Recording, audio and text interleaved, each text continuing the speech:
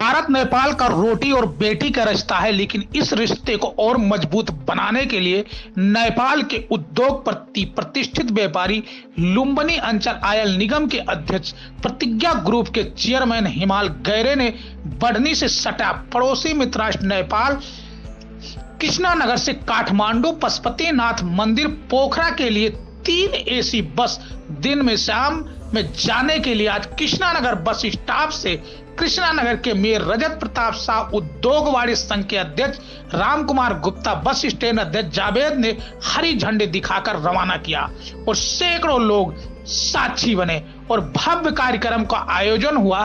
प्रतिज्ञा ग्रुप के चेयरमैन ने कृष्णानगर बस स्टैंड में सभी सम्मानित लोगों को स्मृति चिन्ह देकर सम्मानित किए।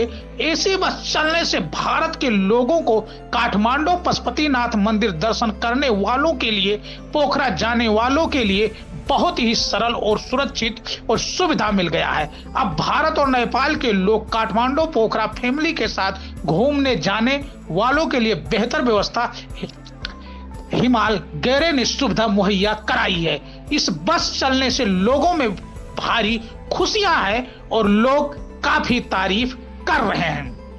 प्रतिज्ञा ग्रुप के चेयरमैन हिमाल गैरे ने ये एक बड़ी सराहनीय कदम उठाया है और भारत और नेपाल के रिश्ते को उद्योगपति प्रतिज्ञा ग्रुप के चेयरमैन हिमाल गैरे ने और मज़बूत बनाया है। स्पेशल डेस्क समाचार भारत के लिए।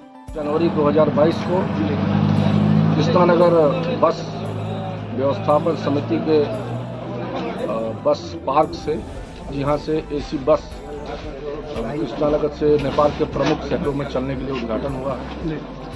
इस उद्घाटन कार्यक्रम का प्रमुख व्यक्ति मुझे बनाया गया। मैं अपने आप को धन्य महसूस करता हूँ। जुन हामी यो आज प्रतिज्ञा एयरबस यो बडोनी र किशनगरको लागि मध्यनजर गरेर काठमाडौँको सिधा जोड्न पशुपतिनाथको लागि यात्रा गर्नको लागि सिधा जोड्दैछौँ। यसको लागि चाहिँ अब यो क्षेत्रका बासिन्दाहरूले यसको भरपुर उपभोग गर्नुहुनेछ भन्ने अपेक्षा लिएका छौँ। र यस क्षेत्रको लागि जुन वातानुकूलित बसहरू थाइरोइड सिट सोफा सिटवाला बसहरू सञ्चालन भइरहेको छ यसको आज उद्घाटन समारोहमा जुन प्रमुख अतिथिज्यू यस क्षेत्रका मेयर साहब हुनुहुन्छ उहाँको गरिमामय उपस्थिति रहेको छ र उद्योग वाणिज्य सङ्घका अध्यक्षज्यू पनि उपस्थित हुनुभएको छ।